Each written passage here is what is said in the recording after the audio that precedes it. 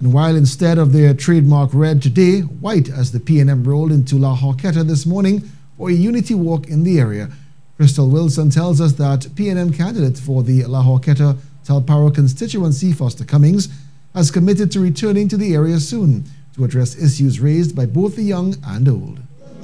White tees with the word unity written at the back was the preferred choice of apparel for supporters of the People's National Movement as they joined La Horquetta Talparo candidate Foster Cummings on a unity walk through the area on Sunday morning. Rain failed to stop the scheduled unity walk as Mr. Cummings was flanked by Labour Minister Jennifer Baptiste Primus and Rural Development and Local Government Minister Kazim Hosein. The PNM General Secretary told TTT News the initiative for Sunday's event was suggested by the young people from the area he said there were many concerns raised and that he will return soon to have the issues addressed. As I walk from house to house, the response has been tremendous. People are coming out of their homes to meet us.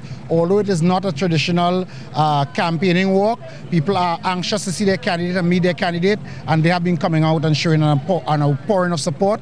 Uh, we have two ministers, uh, Minister Primus and Minister Kazim Hosein, who in their own right uh, seem to be quite popular in this community and people are anxious to come out and meet them and greet them. Lending support to Mr. Cummings on Sunday, Ministers Kazim Hosein and Jennifer Baptiste Primus are both confident Mr. Cummings is the candidate best suited to bring positive change to an area stigmatized by crime.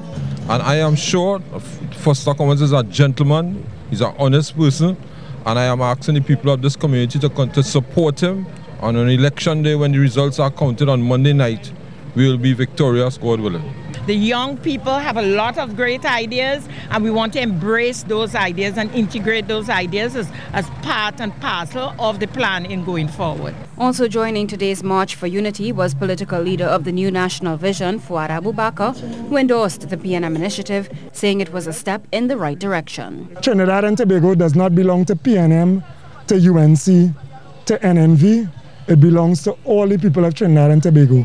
And we want leaders who can understand that, balance the, the society, and cater to the needs, in particular of those who are really in a bad position. Among the issues raised by members of the community, the need for sustainable employment to be able to better care for their families. Khrystal Wilson, TTT News.